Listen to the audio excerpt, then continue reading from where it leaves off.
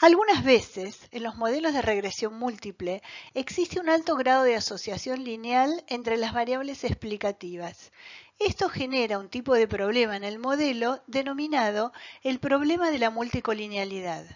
Cuando las variables explicativas tienen alta correlación entre sí, puede ocurrir que la explicación de la respuesta que una variable podría aportar ya ha sido explicada suficientemente por otra variable regresora.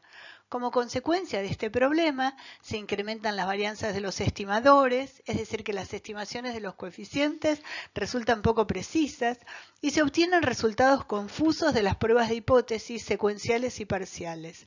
Para ejemplificar este problema, vamos a adicionar una nueva variable regresora en un experimento que ya conocemos. Recordarán que en el video anterior estimamos esta superficie de respuesta que es nuestro modelo para predecir la variación entre parcelas en la pérdida de suelos por erosión. Ahí encontrábamos que tanto la inclinación del terreno como la cobertura vegetal explicaban significativamente a la variación en pérdidas por erosión.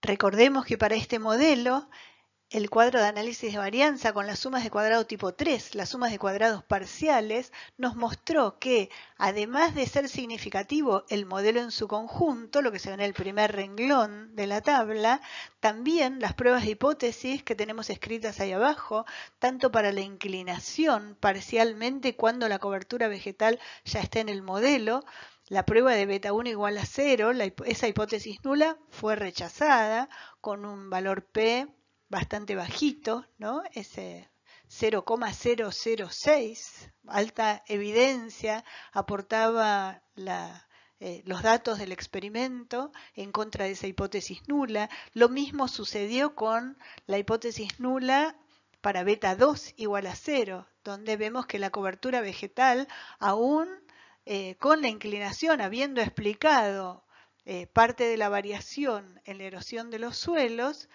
eh, aún así la cobertura vegetal resultaba significativa, ¿sí? ese valor P de 0,017.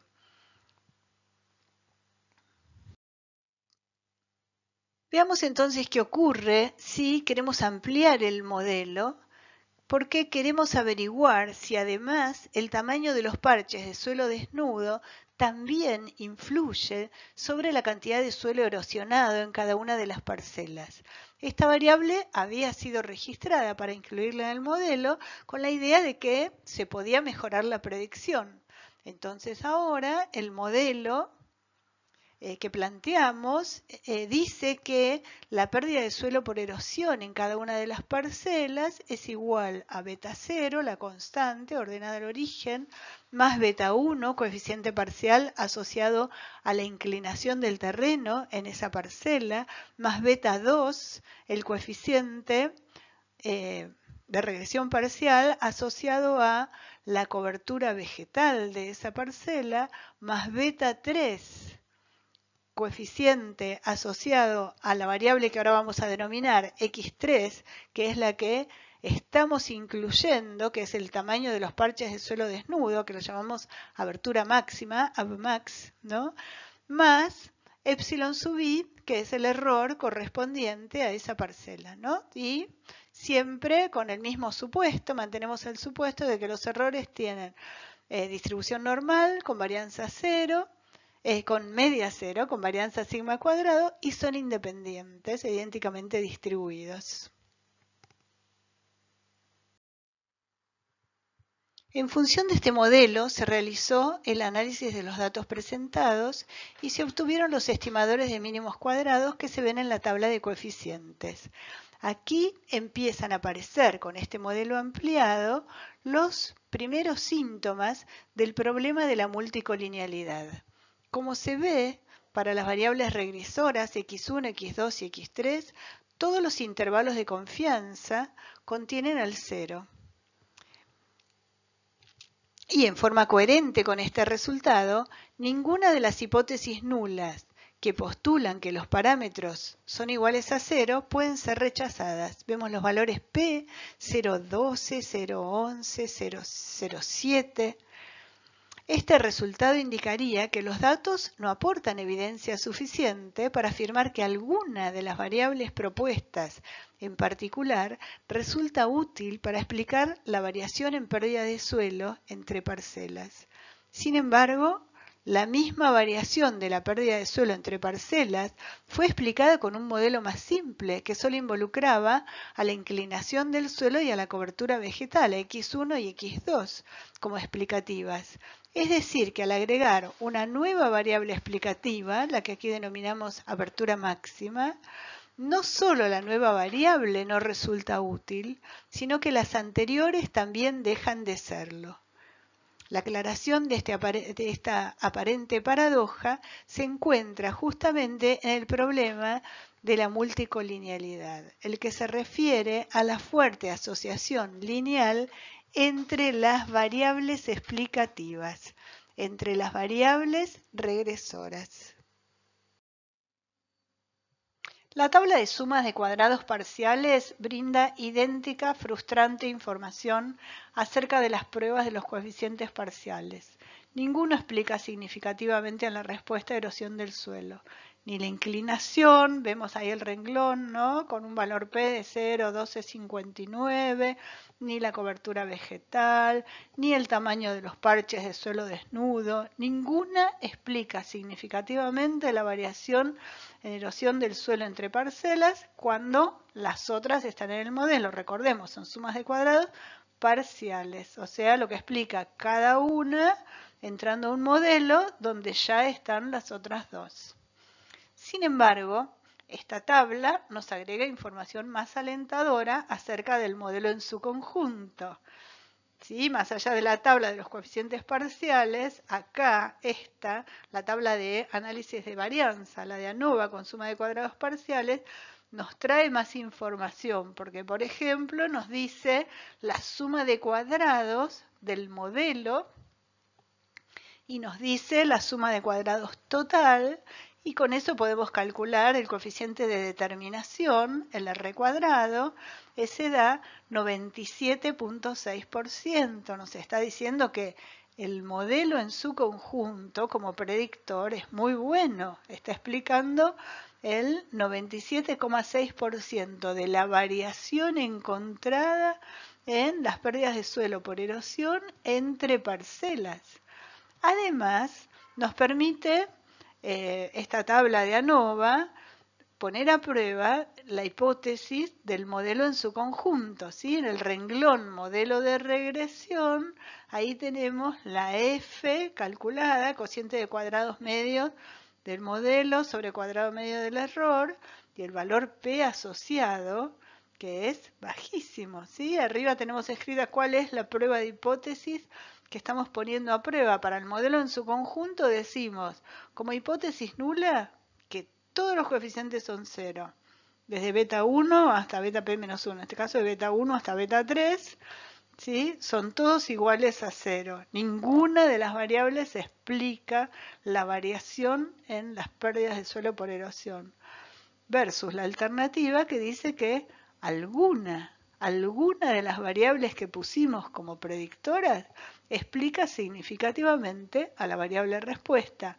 Si nosotros rechazamos con un valor p tan pequeño, además con mucha evidencia, rechazamos esta hipótesis nula, decimos que alguna de estas variables candidatas a predecir la variación en pérdidas de suelo por erosión debe ser significativo en explicarlo. Y entonces después a continuación tenemos las pruebas parciales para cada una de ellas y ninguna de ellas rechaza la hipótesis nula que dice que no explica significativamente. Aquí hay una incongruencia. Ninguna de las variables explica por sí sola una porción importante de la variación cuando las otras dos ya fueron incluidas en el modelo. Esto ocurre porque las tres variables explicativas están fuertemente asociadas entre sí. En consecuencia, explican porciones solapadas de la variación total. La asociación entre variables, en este caso entre las variables explicativas, se puede describir mediante gráficos de dispersión y cuantificar mediante el cálculo del coeficiente de correlación entre las variables explicativas del modelo la variación del tamaño de abertura máxima del suelo desnudo de las parcelas se ve claramente correlacionada linealmente de forma positiva con la inclinación del suelo de las parcelas, con un R, coeficiente de correlación de 0,95. Y negativamente, con un R de menos 0,82, vemos en el siguiente gráfico, en el de la derecha, cuando consideramos X2, la cobertura vegetal. El modelo que incluye a las tres variables explica una proporción alta de la variación en las pérdidas de suelo y aparentemente en conjunto resulta de utilidad para explicar esa variación. Sin embargo, al evaluar los coeficientes de la regresión en forma parcial, ninguno de ellos resulta significativamente distinto de cero, ya que ninguna de las variables explica una porción importante de la variación que no haya sido explicada por las otras dos.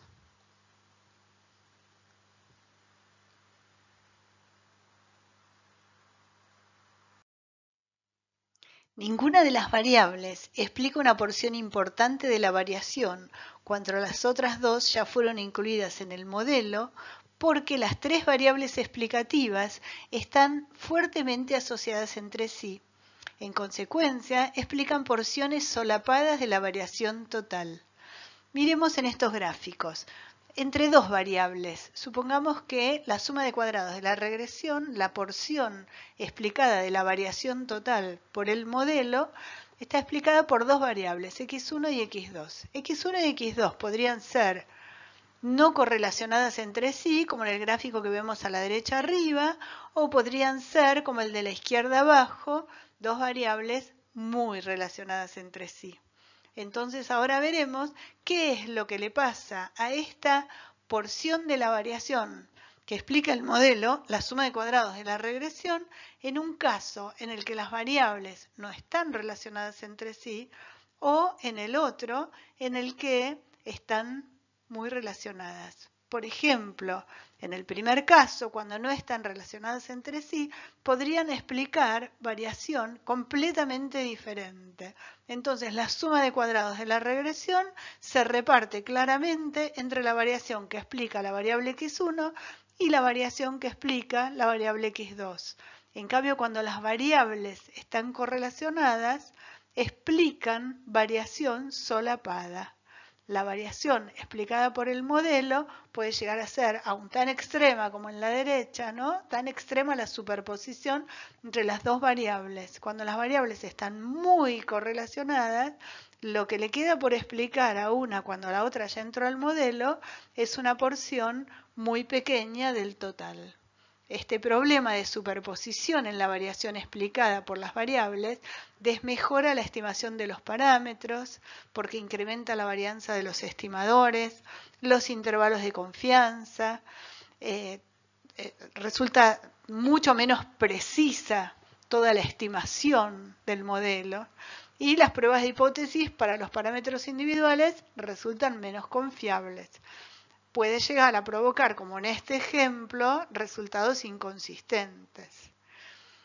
Se pueden encontrar distintas alternativas, tanto para el diagnóstico como, para el análisis de sistemas complejos, en presencia de multicolinealidad, pero esos exceden al nivel de nuestro curso. Nosotros, eh, básicamente, lo que queremos que que, podemos aprender aquí es que si nos encontramos en una situación en la cual pusimos varias variables como explicativas en un modelo y resultó que el modelo explica significativamente, pero las variables no, no creernos que eso, ese sistema, ese ejemplo, ese experimento ya no sirve, démosle la oportunidad, recordemos que este problema puede ocurrir y sobre todo podemos hacer un diagnóstico precoz si estudiamos a priori el nivel de correlación entre las variables. Se considera una buena práctica en la regresión múltiple, eh, al comienzo del análisis, hacer una exploración de si las variables candidatas a ser predictoras en el modelo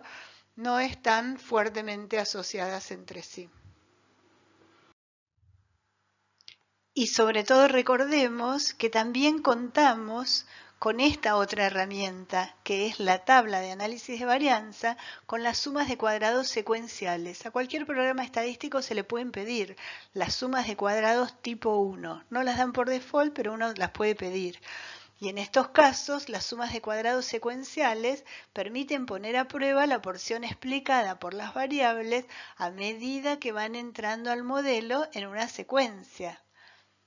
Para nuestro ejemplo, la tabla del análisis de varianza secuencial de la suma de cuadrados tipo 1 muestra que no solo existe suficiente evidencia para rechazar la hipótesis nula del modelo en conjunto, como vimos con las sumas de cuadrado tipo 3, sino que también podemos rechazar las hipótesis nulas que dicen que los parámetros asociados a la inclinación y a la cobertura, entrando estas variables en forma secuencial, ¿se acuerdan? Las hipótesis nulas decían que no explican significativamente y acá las podemos rechazar. O sea que esto coincide con los resultados del modelo que habíamos realizado inicialmente, donde solo teníamos esas dos variables. Entonces lo que ocurrió fue que al agregar una tercera variable que estaba muy correlacionada con aquellas dos, descalabró totalmente al modelo, ¿no? Entonces daba la sensación de que ninguna podía explicar nada. Y bueno, una de las soluciones sencillas, ¿no? Al problema de multicolinealidad, como decíamos, es mirar a priori correlaciones entre variables y si hay variables que correlacionan muy fuertemente con otras, hay que decidir con cuáles construir el modelo y a cuáles dejar afuera. Esta es simplemente para, solo para ilustrar la notación matricial del modelo de regresión múltiple. Eh, aquí se ve, bueno, en el primer renglón tenemos el modelo tal cual lo conocemos hasta acá, que con los subíndices representa muy bien cada una de las observaciones, ¿no? La síntesis es una gran síntesis donde eh, cambiando los subíndices vamos pasando por todos los renglones de la tabla, ¿no? Eh, avanzamos a través de las 11 parcelas, por ejemplo, de nuestro experimento reciente. En la notación matricial, además de eso, está contenido en cada vector o en cada matriz todos los datos del experimento. Por ejemplo, el primer vector, el de la variable respuesta, es un, un vector columna que tiene n numeritos de variable respuesta con una sola columna. Después está la matriz de las X, que son valores fijos, ¿no? Y la primera columna corresponde a, los unos para beta 0 y todas las demás columnas, cada una corresponde a una de las variables predictoras, sus valores en cada una de las observaciones que están en las filas.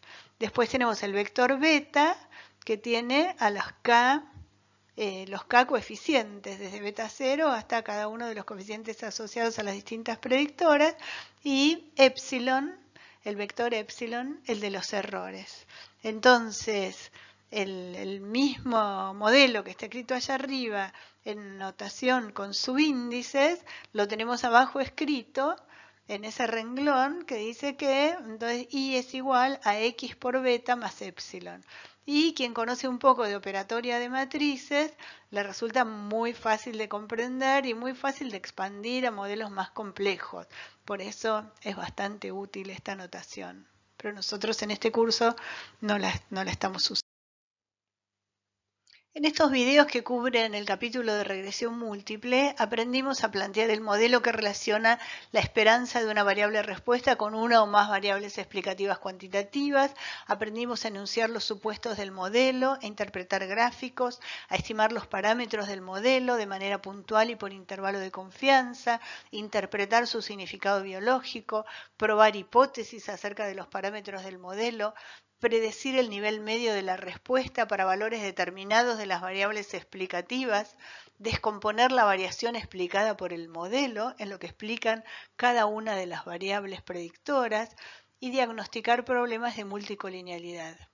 El análisis de regresión múltiple es una herramienta poderosa para estudiar las relaciones entre variables, pero debe ser utilizada con precaución.